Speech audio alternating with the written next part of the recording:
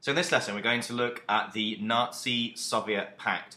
This was an alliance or a pact signed between Germany and the Soviet Union in August of 1939. And it's quite surprising when you consider that Hitler was uh, an extreme anti-communist. So why did Stalin sign this non-aggression pact with Hitler?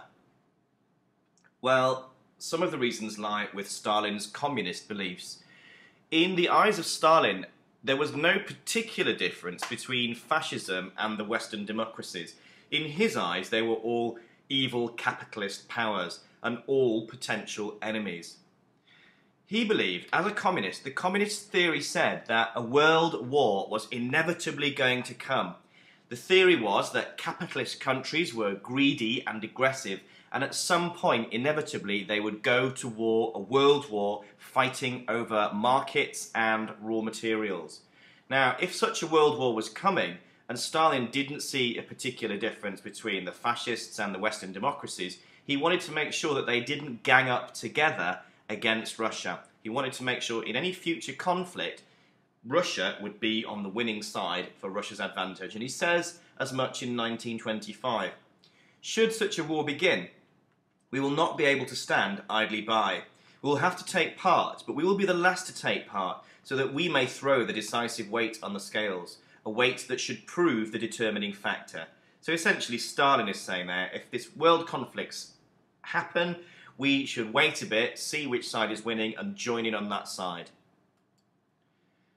In January of 1934, Hitler has been Chancellor of Germany for a year and he started his massive rearmament program. So Stalin is looking towards Germany and seeing this new power emerging and wondering about perhaps getting some sort of alliance with this new power. He's looking at friendship with Germany.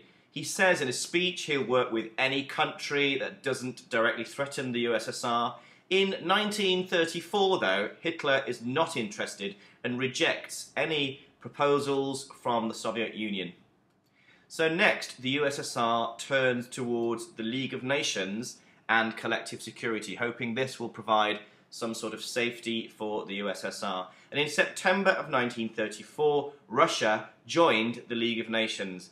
Now, if you remember, back when the League was formed, Russia was not invited to join the League as the Western powers, Britain and France, didn't like the, the, the, the communism, the communist theories uh, of the Russian government. At this stage, though, in September of 1934, they are more worried about the rise of Germany, so they gladly accept Russia into the League of Nations as a potential ally against the rising threat from Germany. The Soviet foreign minister at this time was Maxim Litvinov, and it was his initiative, his idea to build links with Britain and France and the League of Nations. And hopefully then Britain, France, Russia would be able to stand together against any possible future German aggression. Something that really alarms, that worries the USSR, though, is the Western policy, Britain's policy, France's policy of appeasement. In Munich, if you remember, in 1938, the Allies basically dealt with Hitler, gave him some of the things he wanted, gave him the Sudetenland, and Russia was not invited to this conference. Stalin became very suspicious of the motives of Britain and France. They seemed to give Hitler things that he wanted, and he was worried that they had a secret aim, that Britain and France really wanted Nazi Germany to get involved in a war with the USSR and for those two powers to destroy each other because he knew that Britain and France didn't particularly like either of these powers. He actually says this in a speech Britain and France have rejected the idea of collective security and taken up a policy of non intervention and neutrality. The policy of non aggression is a way of encouraging aggression. Britain and France are encouraging the Germans to march east. They are just saying to the Germans, just start a war on the Bolsheviks and everything will be all right. So makes that speech in March of 1939. Very suspicious of Britain and France after appeasement. It doesn't mean that the Soviets stop talking to the West, though. And Maxim Litvinov, he continues his efforts to get a, a treaty established between Russia, Britain, and France. And in spring of 1939, it looks like Britain and France might be going to war with Hitler. In April of that year, of 1939, Litvinov proposes a treaty to Britain and France. He lays out a proposal for a Britain, a British, French, and Russian alliance. It, however, takes six weeks for a reply to come. And Stalin gets the idea that the Western allies are not really serious about an alliance with Russia. Remember, he's secretly worried that they want Germany to attack Russia anyway. He dismissed Maxim Litvinov, who he was worried was too friendly with Western diplomats, and appointed a new foreign minister called Molotov. Now, Molotov then is sent secretly to Germany you can see Molotov talking to some German generals for secret talks in May of 1939. It doesn't mean at this stage that the USSR is definitely going to sign some sort of agreement with Germany, but they're, they're basically talking to both sides and seeing which, which is going to give them the best offer in the interests of the USSR. They do start making promises, the Germans at this stage. They're saying, look, if you're neutral, because it's looking like Germany is going to attack Poland to get Danzig back, if you're neutral, um, you could get more land in Eastern Europe if you if you if you if you're neutral in the future conflict.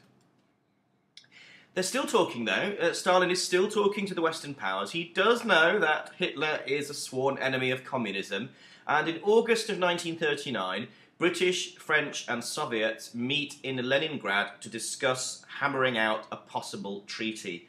Now, the Soviets ask, well, if we're going to fight Germany, we're going to need to send our troops through Poland in order for them to get to Germany.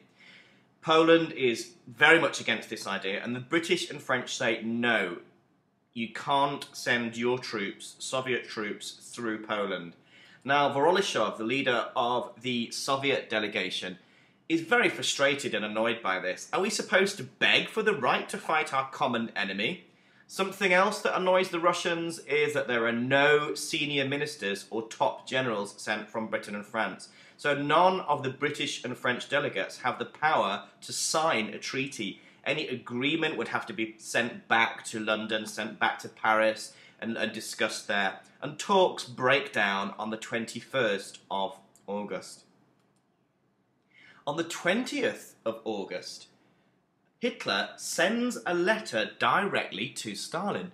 Dear Stalin, the tension between Germany and Poland has become intolerable. A crisis may develop any day. In my opinion, it is desirable for our two countries to enter into a new relationship without losing any time. I propose you receive my foreign minister in Moscow. He will have the fullest power to sign the pact. I should be glad to receive your early answer. Signed, A. Hitler. The very next day, Stalin replies to Hitler's offer I thank you for your letter. I hope that the German Soviet non aggression pact will mark a decided turn for the better in the political relations between our two countries. Signed, J. Stalin. So Hitler's letter is different from the Western talks in Leningrad in a number of ways. Hitler wrote a personal letter directly to Stalin. This impressed Stalin that Hitler was serious about coming to some sort of agreement. These are high level talks that Hitler is proposing. He's not sending junior officials with no power. He's talking about sending the German foreign minister von Ribbentrop to Moscow. And von Ribbentrop would have the full power to sign a treaty, again, unlike the British and French representatives. There was also another attractive part of the offer for Stalin. In it, in the so called secret protocol, Stalin would gain a share of Poland and areas that Russia lost after World War I the Baltic states of Lithuania, Latvia, and Estonia, and the Ukraine. So let's compare the two offers. The British and French offer if Germany attacked Poland, the USSR should join in with Britain and France in fighting Germany, although it's difficult to see how uh, the USSR could do that as Soviet troops couldn't pass through Poland. So it does mean that According to the British and French offer, they're going to get involved in a war soon fighting Germany. If you compare that to the German offer, the non aggression pact, Germany promised it wouldn't attack the USSR, and so consequently, there's no immediate prospect of war. Now, Britain and France do promise support if Germany attacks the USSR, but there's no extra land for the USSR in the British and French offer. If you compare that to the German offer, again, there's no immediate prospect of war, and the USSR gains eastern Poland, the Baltic states, and the Ukraine. So, which of these two offers do you think looks more attractive to Stalin? Well, Stalin chooses to go with the German offer. In this picture, you can see the German foreign minister in Moscow, von Ribbentrop. He is signing the non aggression pact, also called the Molotov Ribbentrop Pact, after the two foreign ministers. Behind Ribbentrop, you can see Stalin, and next to Stalin, the Soviet foreign minister, Molotov. So let's have a quick summary. So, why did Stalin sign a non aggression pact agreeing not to fight with a person who essentially is obviously his enemy, who says he hates communism. Well, in Stalin's communist beliefs, he doesn't see really much difference between fascist Germany and the other Western powers. They're all evil capitalists, and they're all going to inevitably come to a war anyway, so Stalin should simply choose the, the winning side. The policy of appeasement greatly worried Stalin he seemed to think that the Allies were giving Hitler things that he wanted and encouraging him to turn east and to attack Stalin and the Soviet Union. The British and French offer was very weak.